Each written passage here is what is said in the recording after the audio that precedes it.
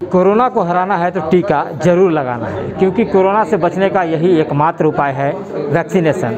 अधिक से अधिक लोग वैक्सीन लें। इसे लेकर जिला प्रशासन, सामाजिक कार्यकर्ता, स्वयंसेवी संगठन और सरकार सभी का फोकस इस बात को लेकर है कि कैसे अधिक से अधिक लोगों को वैक्सीनेशन दिया जाए। हम अभी खड़े हैं मेमोरियल गुरुद्वारा का मेमोरियल में, जहाँ आप देख रहे हैं कि सिख समाज से जुड़े लोगों को वैक्सीन देने का कार्य किया जा रहा है। जिला प्रशासन का भी यह फोकस है कि सामाजिक संगठनों के अलावा धार्मिक संगठनों के साथ कैसे समन्वय बनाकर अधिक से अधिक लोगों को वैक्सीनेट किया जाए? जिला प्रशासन की ओर से लगातार यह प्रयास किया जा रहा है, कोशिश किया जा रहा है कि अधिक से अधिक लोगों को कोरोना का वैक्सीन दिया जाए। गाँवों के अलावा अलग अलग धार्मिक संगठन के लोगों से उपायुक्त शशि रंजन ने खुद बैठक कर उन लोगों को यह बताया और प्रेरित किया कि ज़्यादा से ज़्यादा लोग उनके समुदाय से वैक्सीन लें। आज सिख समुदाय की ओर से, सिख समाज की ओर से मेमोरियल में यह वैक्सीनेशन कार्यक्रम शुरू किया गया है, जहाँ आप देख सकते हैं कि न सिर्फ़ सिख समाज से जुड़े लोग, बल्कि वे तमाम लोग जिनको यह सूचना हुई, जानकारी हुई कि मेमोरियल में वैक्सीन का कार्यक्रम शुरू किया गया है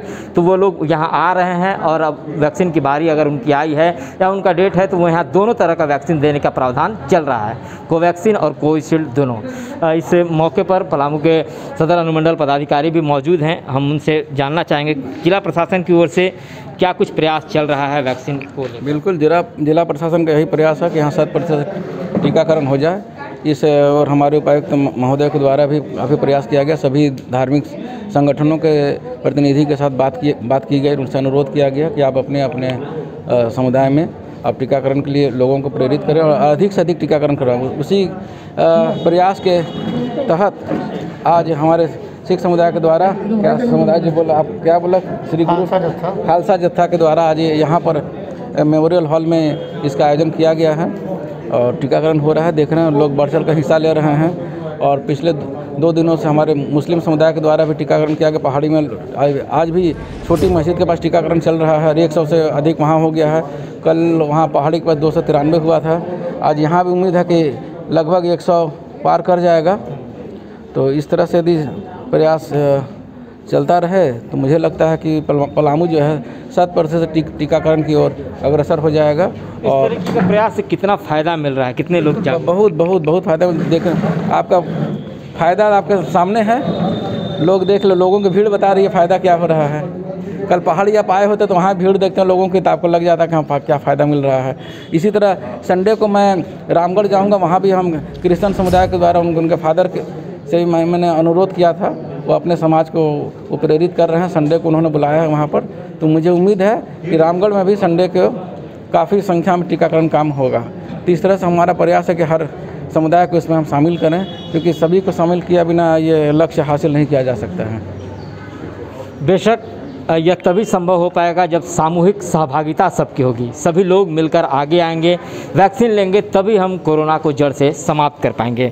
और इस अभियान से जुड़े लगातार सिख समाज के लिए काम कर रहे गोलू जी भी हमारे साथ हैं। कैसे आप लोगों ने इस बात को प्लानिंग की? कैसे इन लोगों को लोगों को बताया गया? चार पाँच दिन पहले डीसी सर ने मीटिंग बुलाई थी, जिसमें डीसी सर, एसडीओ सर सबको ही थे। उसमें सब समुदाय के लोग शामिल थे, उसमें डीसी सर ने सबको समझाया था कि कोरोना का एक ही उपाय है जिसकी टीका लगा लिया जाए, वैक्सीनेशन हो जाए। तो सब समुदाय ने पहल शुरू की, मुस्लिम समाज ने शुरू किया, उन्होंने भी काफ़ी लोगों को अपने वहाँ पर कन्विंस कर टीका लगवाया। तो ये आज गुरुद्वारा श्री गुरु सिंह सभा की तरफ़ से खालसा जत्था ने और हमारे भाई मन्नत वीर ने भी मेहनत करके आज कम से कम सौ लोगों को समझाया और सौ लोग यहाँ पर टीका लगाने आए हैं और एसडीओ साहब सर एसडीओ सर ने काफ़ी इसमें हम लोग को सहयोग दिया। उन्होंने दोनों वैक्सीन हमें उपलब्ध कराई कोवैक्सीन और कोविशील्ड। तो दोनों को दोनों टाइप के इंजेक्शन यहाँ मिल रहे हैं अभी। तो क्या ये आज ही भर है या आगे भी चलेगा नहीं चलेगा अभी। जैसे कि आज हमने सौ लोगों को कम से कम टारगेट किया है। उम्मीद है कि सौ से ज़्यादा हो जाएँगे। तो उसके बाद फिर और भी गली मोहल्ले में जितने भी हैं इसमें खाली भी सिख समुदाय के लोग हैं सारे समुदाय के लोग जो भी हमारे मोहल्ले में सब आ रहे हैं सबको वैक्सीनेशन यहाँ मिल रही है। तो ये प्रक्रिया लगातार करने, करते रहने की ज़रूरत है। तमाम लोगों को वैक्सीनेशन किया जाए, इसके लिए जिला प्रशासन के साथ सामाजिक संगठन के लोग भी निरंतर सक्रिय हैं। स्वयंसेवी संस्थाएँ, संगठन है, सामाजिक कार्यकर्ता के लोग लगातार सक्रिय हैं कि ज़्यादा से ज़्यादा लोगों को वैक्सीन दिया जाए। और सिख समुदाय से जुड़े जो मन्नत जी हैं, उनसे भी हम बात करेंगे। कितना फ़ायदा मिल रहा है इस जी बिल्कुल फ़ायदा है क्योंकि अगर हम लोग वैक्सीन नहीं लगाएँगे तो जैसा कि हमारे डॉक्टरों ने वैज्ञानिकों ने बताया है कि कोरोना की तीसरी लहर भी आने वाली है जो ज़्यादातर बच्चों पे असर करेगी। तो हमारे जो 45 प्लस के लोग हैं जो 18 प्लस के लोग हैं वो अगर वैक्सीन लगवा लेंगे तो इससे बच्चों पे उनका प्रभाव कम पड़ेगा, कोरोना की जो तीसरी लहर आएगी। तो ये- फ़ायदा है वैक्सीनेशन का। और सबसे पहले मैं SDO sir, DC sir Palamu, उनका धन्यवाद करना चाहूँगा। जिन्होंने ये पहल की है, सभी समुदाय के लोगों से अपील करके कि कोरोना वैक्सीनेशन का कैंप लगवाएँ और ज़्यादा से ज़्यादा लोगों को कोरोना का टीका दिलवाएँ। मेमोरियल हॉल में लगे इस कैंप में सिख समाज से जुड़े कई लोग वैक्सीन ले रहे हैं और सुखद अनुभव कर रहे हैं। आपको बता दें कि सिख समाज के अलावा दूसरे लोग भी आ रहे हैं। सिख समाज की ओर से गाँव में और आसपास के लोगों को यह बताया गया था कि मेमोरियल में कैंप लगने वाला है।